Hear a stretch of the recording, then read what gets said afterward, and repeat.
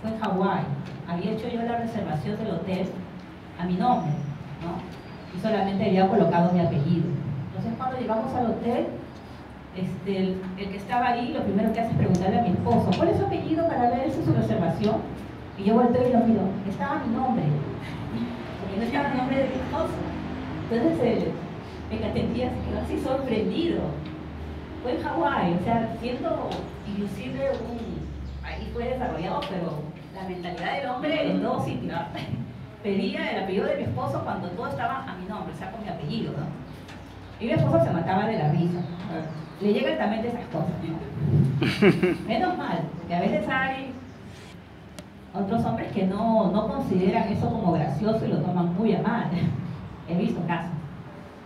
Y bueno, como les repito, mis hijas ahorita están estudiando, eh, terminé el doctorado, empecé a tratar de trabajar acá en la universidad, pero se me presentó la oportunidad de hacer un postdoctorado en Suecia.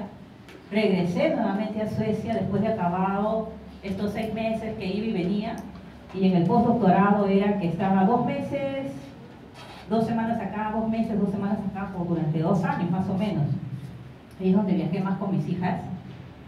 Y regresé, pero ya regresé al Perú a trabajar en la UNI por una beca de, de retorno. Y luego tengo en este momento ya conformado un grupo de investigación en la Universidad de Ingeniería. Trabajamos en el área de nanomateriales. Tengo estudiantes a cargo, chicas y chicos, distintamente. A ambos los ayudo para que puedan salir al extranjero para que puedan terminar sus tesis, tratando de ver lo último en tecnología para poder aplicarla.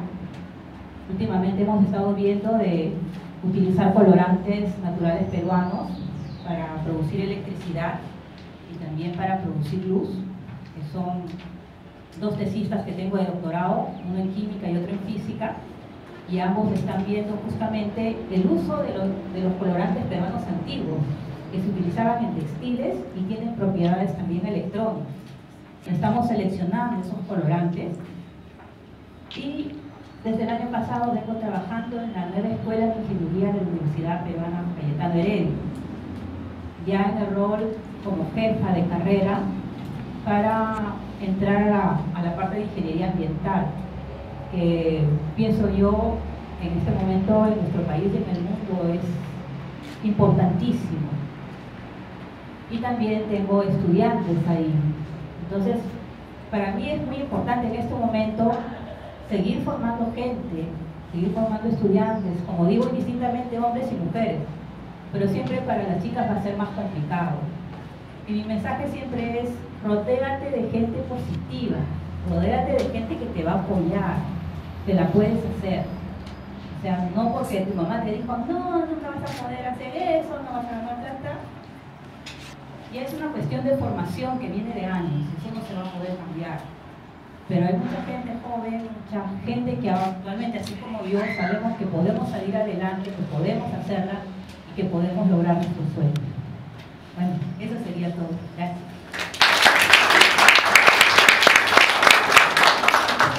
María Quintana. ¿Alguna pregunta a la doctora?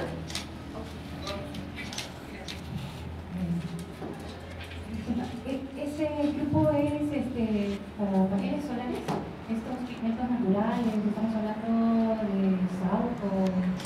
Hemos probado el alampo, la chicha morada, la cara, eh, nos produce electricidad.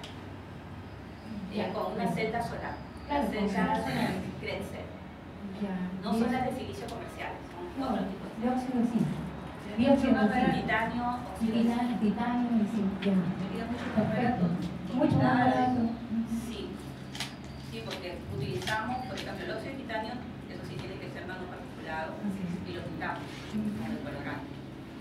Se usaban colorantes a base de que son sumamente caros. Entonces, como yo no podía comprarlo, buscábamos justamente los colorantes naturales. Pero si yo quería publicar, Con antocianinas.